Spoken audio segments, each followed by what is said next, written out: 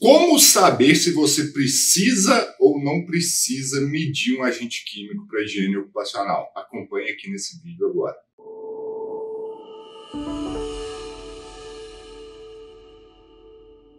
Primeira coisa que você tem que entender para responder essa dúvida é por que, que você quer fazer uma medição? Parece óbvio, mas parece bobo ao mesmo tempo. Mas essa pergunta quando eu converso com a grande maioria dos profissionais que vão atuar com agentes químicos, eles não sabem responder. É isso mesmo. Você tem que entender, primeiramente, é por que, que você quer fazer uma medição de agentes químicos. Por quê? Existem várias razões para se fazer essas medições. Eu queria que você comentasse aqui embaixo, na área de comentários, aí, quais são as razões que você acha que você precisa fazer uma medição de agentes químicos? Deixa aqui no comentário. Eu vou te explicar algumas delas. O motivo principal e a primeira coisa que vem na cabeça da grande maioria dos profissionais é o quê? Existe um limite de exposição ocupacional na legislação e eu tenho que saber se está acima ou está abaixo do limite. Isso é uma razão óbvia e clara. Mas espera aí, será que é só ter um limite que eu preciso fazer uma medição? Você já parou para pensar sobre isso? Eu vou te explicar aqui. Isso vai depender muito do lado que você está.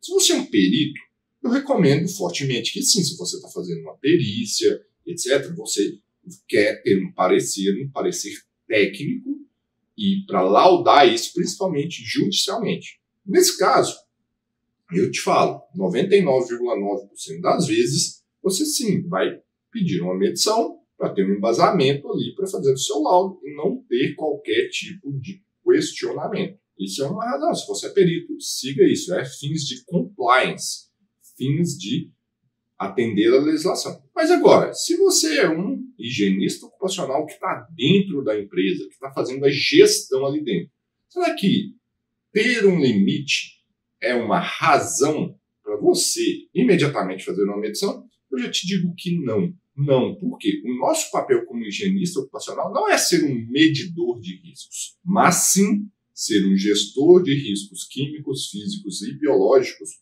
Para quê?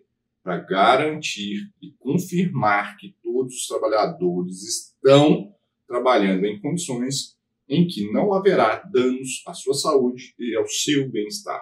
Então, se você está ali dentro e tem uma boa avaliação qualitativa, se você fez uma boa análise preliminar de riscos para higiene ocupacional, utilizou métodos validados e métodos conhecidos para fazer uma avaliação qualitativa e você tem uma segurança que essas exposições estão desprezíveis, abaixo do limite ou do nível de ação abaixo de 10% do limite de exposição ocupacional, você tem uma garantia, você tem uma alta taxa de certeza que essas exposições não causarão dano à saúde do trabalhador, você não precisa fazer essas medições. Você tem que documentar essa sua avaliação qualitativa, quais são os métodos que você fez para chegar a essa conclusão. Eu não sei se você sabe, mas existem métodos para chegar nisso. Alguns deles eu posso te falar aqui, como o método VHR, Vapor Hazard Ratio. Esse é um dos métodos que eu, inclusive, ensino dentro do método H-Fácil, que é o meu treinamento para você ficar 100% seguro para avaliar e reconhecer agentes químicos no ambiente de trabalho e dominando os agentes químicos, o que, os meus alunos têm obtido como resultado? Um aumento de renda de pelo menos 50%. Só para você entender um pouco dessa técnica, né, que eu ensino dentro do método Galfácio, essa técnica ela usa alguns dados da substância química e dos limites de exposição ocupacional. E é muito legal. Tem uma aula lá dentro do método da Galfácio que eu ensino isso tintim por tintim. O que, que você tem que fazer?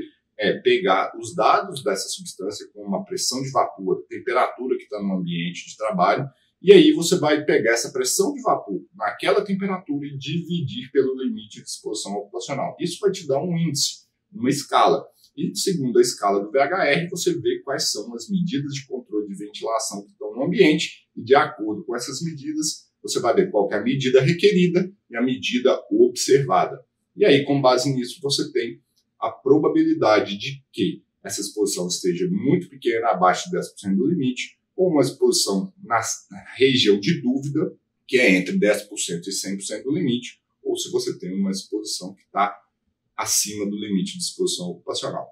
E agora vamos falar dos casos em que a exposição está acima do limite de exposição ocupacional. Nesses casos também, se você já identificar, você tem que partir diretamente para tomar uma ação.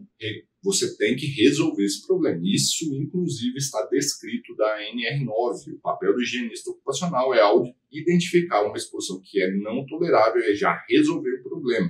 Não é ficar fazendo medição para confirmar que está acima. O que, que você vai ter se você fizer uma medição?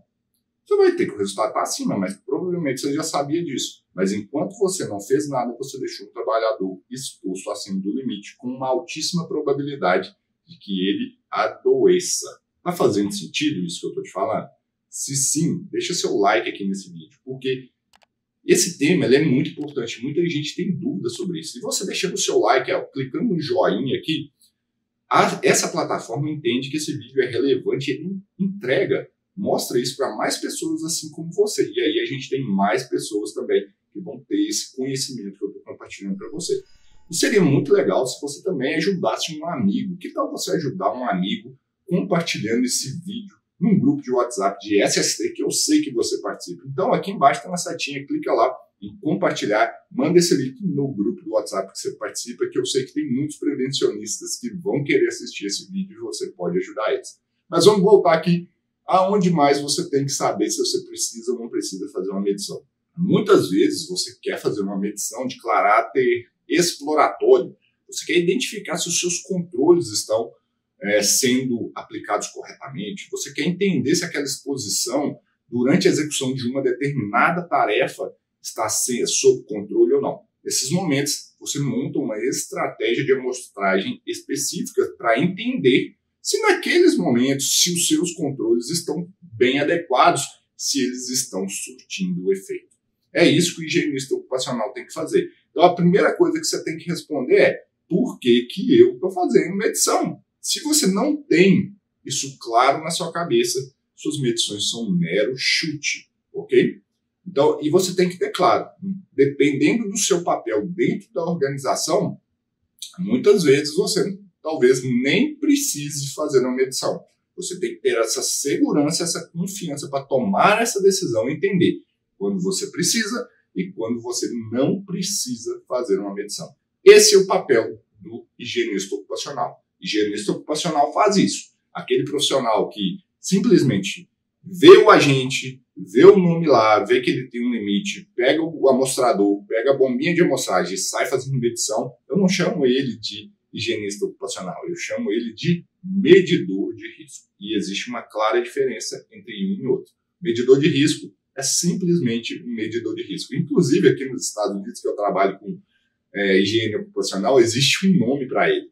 O medidor de risco aqui chama pump hanger, ou colocador de bomba. Olha para você ver. Eu comecei com essa história de medidor de risco aí no Brasil, e aqui eu já sabia que tinha um nome. Eles brincam que o pump hanger é o como se fosse o cargo mais baixo que existe na área de higiene ocupacional. Ele não toma decisão, ele não faz nada, ele é só um colocador de bomba.